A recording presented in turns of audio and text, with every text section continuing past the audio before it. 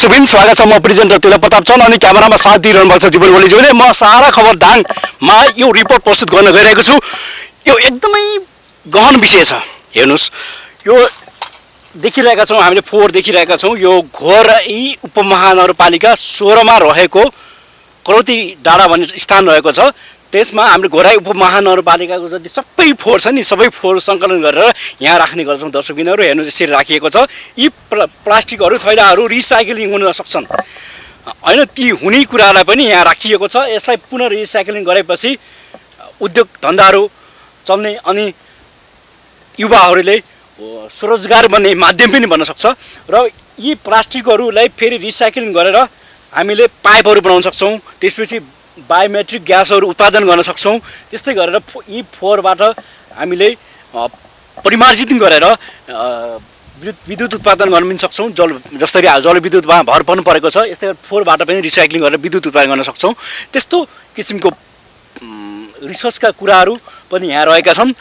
त्यसैले हामी यो फोहोरलाई भोलि समयमा अझै यो बढ्दै जानेछ। त्यस कारणले गर्दा यो बेलैमै सोच्नु पर्ने विषय रहेको छ। दर्शकबिनहरू म तपाईँलाई यो दृश्य देखाइरहेको छु। हाम्रो घरमा भएका ती फोहोरहरू यहाँ जम्मा भएको छ। ताकि भोलि यो फोहोरहरू अझै बढ्दै गएपछि हाम्रो वातावरण नै पोल्युसन हुनसक्छ। भोलि चाहिँ एकदमै विकराल रूपमा रोग व्याधिहरू लाग्न सक्छन्। तसर्थ ती भावी समस्याबाट बच्नका निमित्त हामीले यी फोहोरहरूलाई बेलैमै हामीले रिसाइक्लिङ गरेर हटाएकै राम्रो।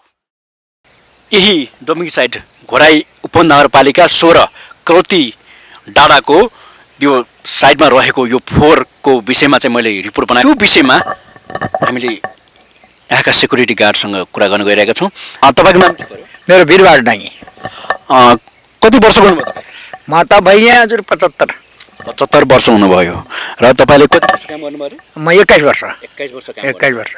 त्यसपछि तपाईँले कति स्यालेरी खानुहुन्छ? जस्तो नगरपालिकाले तपाईँले राख्यो कर्मचारीको हजुर। अहिले मात्रै हो न पन्ध्र खान्थ्यौँ अहिले सत्र गरिदिएको छ। अहिले के भने करारमा राखेको छ। करारमा राखेको छ। म बुढालाई राखेर के काम? यसभन्दा पहिले कति कर्मचारी हुनुहुन्थ्यो? यहाँ नौजना थियौँ।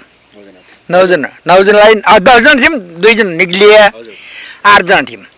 आठजना मध्ये सबै नगरपालिका लगाएको छ एउटा वडामा छ। वडामा। हजुर हजुर। तपाईँले यो जो छ नि यो हेर्नुहुन्छ यो फोहोरहरू फोहोर फोहोर साइडहरू हेर्नुहुन्छ दिनमा हेर्नुहुन्छ कि रातमा? दिनमा। रातमा चाहिँ कसैले हेर्दैन?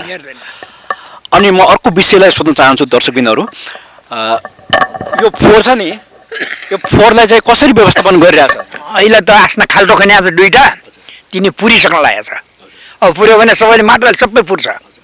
पुरिसक्यो भने फेरि खाल्टो खान्छ अहिले त धेरै देखिया छ परि फोहोर मैले धेरै। बनाउँदाखेरि फोहोर माथि बढेको छ। बढिरहेको छ त्यसलाई परैतिर लग्ने हो त्यस्तै बढाउँदै पहिले चाहिँ लगभग नौजना नौजना कर्मचारी। हजुर। उनीहरूले बोकेर। बोकेर बोकेर गर्थे।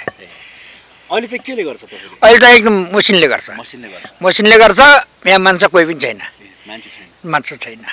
अनि यहाँको फोहोरहरूलाई चाहिँ पुरै कतै लग्छ होला नि त। गत गत्ता छ जस्तै यहाँ जस्तै। मैले बोतलहरू पनि देखेँ स्टोर हाउसमा। हजुर यो बजारबाट बजारबाट बजार लाग्छ। बजारबाट ल्याएको बजारै लग्ने हो। फेरि बजारै लाग्छ? बजार लाग्छ। बिक्रीकै लागि लाग्छ। बिक्रीको लागि। यहाँको गत्ता कपरी सब यहाँ गाउँले खेर्छ। गाउँले फेर्छ हजुर। गाउँले खेर्छ। यो को कोले फेरि एकदम त्यसमाथि एकदम गाउँ ल्यायो भने अरू फेरि एकजना मान्छेले त्यो दुई सय किलाको दुई रुपियाँ खान्छ कति खान्छ? त्यो खान्छ गरे त्यसरी किन्न आउँछ। अँ किन्न आउँछ। देश लाग्छ देशले। महिनामा चार गाडी जान्छ जान्छ। चार गाडी जान्छ महिना हजुर। अनि तपाईँ यो साइडमा जस्तो एकदम प्रदूषण छ म आउँदाखेरि यो रिपोर्ट गर्नु पनि गाह्रो भयो। गाह्रो थियो। यस्तो गाह्रो भयो। यस्तो गाह्रो मौसममा कसरी तपाईँले निरीक्षण गर्नुहुन्छ? त्यसपछि भोलि त एकदम अप्ठ्यारो होला नि त। अप्ठ्यारो हुन्छ सर। अप्ठ्यारो हुन्छ। यहाँ के छ भनेपछि उही टाढैबाट हेर्ने हो म त्यहाँ किन जाऊँ जान्न। जान्नु न त्यहाँ। अँ जान्न। अब नगरपालिका गाडीले पुर्छ भनेपछि म त्यहाँ किन जाऊँ? त्यो वरपरबाट हेर्ने हो। त्यही हो यो बनि हेर्ने रुखहरू भात काटेनन् मारेन अब कोही लग्नन् त्यही हो रुख हेर्ने।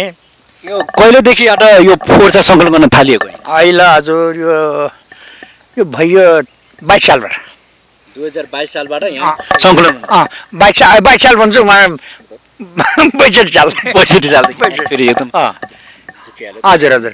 बैसठी साल बैसठी सालदेखिबाट यो सङ्कलन गर्नु हजुर। त्यो सुरुमा चाहिँ कहाँको फोहोरहरू सङ्कलन गर्दै यो घोराइकै नगरपालिका भनौँ घर पहिला नगरपालिका थियो दस र एघारको। दस र एघारको मात्रै गर्नु त्यति थियो। अहिले चाहिँ पुरै घोराइको पुरै। अहिले मैले सुनिरहेको छु बाहिरको कुरा सुनिरहेको छु यहाँ तुलसीपुर उपमहानगरपालिकाको पनि फोहोर यहाँ आउने भनेर सुनिरहेको छु आउने त पछि एकदम यो पुरै नगरपालिका महानगरपालिका बन्यो भने त आउला। अहिले त छैन। हल्ला पनि त्यो छ छन त कुरा छ तर छैन। अहिले नारायणपुर यही एकदम भनौँ त जति नगरपालिका यो महानगरपालिका छ त्यति मात्रै हो। घोराइको सबै एरियाको फोहोर चाहिँ। यहाँ सङ्कलन। हजुर। नारायणपुर आउँछ। हामीलाई समय दिनु भयो होइन? त्यसको लागि चाहिँ धन्यवाद। हो धन्यवाद। एउटा स्टोर हाउस रहेको छ जहाँ चाहिँ हामीले नकुहिने वस्तुहरू जो बिक्री गर्नको लागि रिसाइक्लिङ गर्ने चाहिने छुट्टै वस्तुहरू छुट्याएको हामीले त्यो स्टोर हाउस पनि रहेको छ माथि। त्यहाँ पनि हामी तपाईँलाई देखाउनेछौँ दर्शकबिनहरू।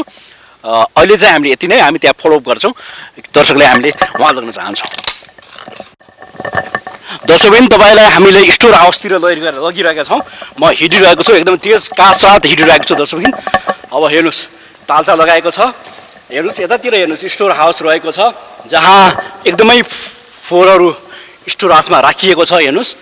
एकदम सजाइरहेको छ। यो रिसाइक्लिङ हुने बोतलहरू प्लास्टिकहरू भोलि एकदम बिक्रीका लागि पनि एकदम कवाडी सामान बिक्रीका लागि पनि उपयुक्त हुने सामानहरू छुट्याएर राखिएको छ।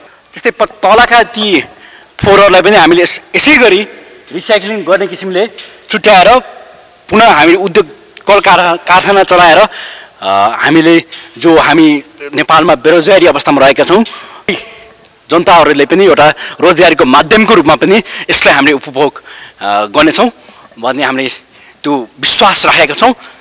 अब त्यो रूपमा हामीले यसलाई गर्न जरुरी छ। सम्बन्धित निकायले यस विषयमा ध्यान दिन जरुरी छ। यति भन्दै म सारा खबरको यो भिडियो यति अन्त्य गर्न चाहन्छु।